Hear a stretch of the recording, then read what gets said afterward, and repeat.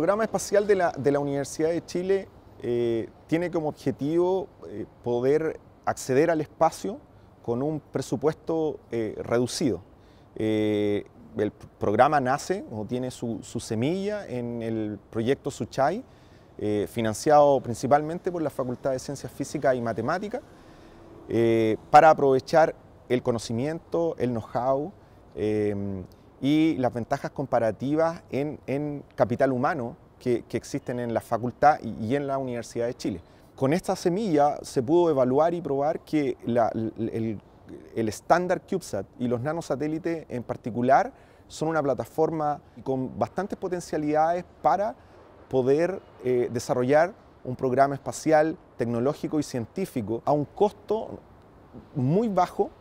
eh, comparativamente con, otros programas espaciales y que permitan y que sean acorde con el presupuesto y el tamaño que tiene nuestro país. En la continuación del Suchai 1, en asociación con la Facultad de Ciencias, que tiene fuertes capacidades eh, de, física espacial en el estudio de la relación del Sol con la Tierra, eh, nacen nuevos proyectos que, potencian el programa espacial y ya comienza a ser un programa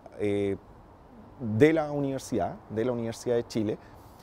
eh, que pretende eh, poder llegar al espacio de forma accesible, de, bajos recursos, tratar de hacer lo mismo que se hace hoy con bajos recursos. Eso requiere una fuerte componente de investigación, porque es difícil concebir que vamos a hacer exactamente lo mismo con dispositivos más pequeños, más riesgosos, pero, pero la idea de un programa, sobre todo dentro de una universidad, es que podemos pensarlo en el largo plazo y queremos pensarlo en el largo, en el largo plazo, en el largo plazo como potencialidades eh, para el país, para una posible industria y además como eh, para eh, apoyo a nivel mundial para la resolución de problemas macros que tenemos como humanidad.